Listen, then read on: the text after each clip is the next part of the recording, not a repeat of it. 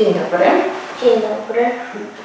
Dzisiaj e, chciałabym zaproponować Państwu takie e, świetne ćwiczenie, e, które pomoże nam na grafomotorykę ręki, to po pierwsze, a drugie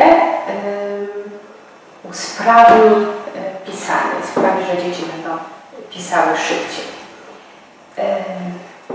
Ćwiczenie nie jest trudne. Mamy tutaj takiego jeżyka. Wykorzystam tę kartę, a ją będziecie mogli Państwo e, znaleźć mm, i pobrać po obejrzeniu filmu.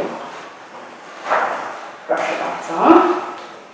Teraz mamy jeża, który czego mu brakuje? Kolce. Kolców, jasne. I chciałabym, żebyś dorysował mu kolce, ale mam warunek. Wszystkie kolce muszą być proste, nie mogą być połamane. Czyli tak, rysujesz proste kolce i zaczynasz zawsze od góry do dołu.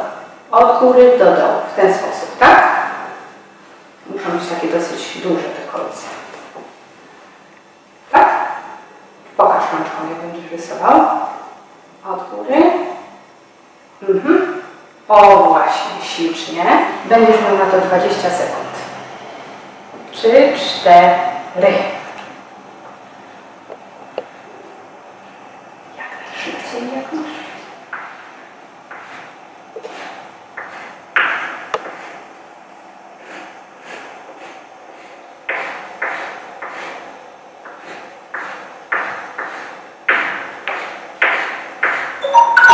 Okay.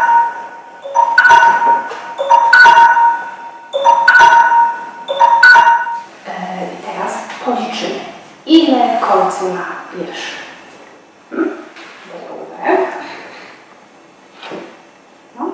Jeden, dwa, trzy, cztery, pięć, sześć, siedem, osiem, dziewięć, dziesięć, Super, a teraz szybciej liczymy.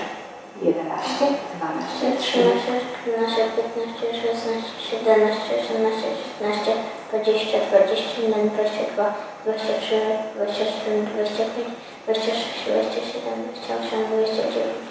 Świetnie, bardzo dobrze. E, Ja myślę, że mm, następnym razem miałby jeszcze więcej kolcy.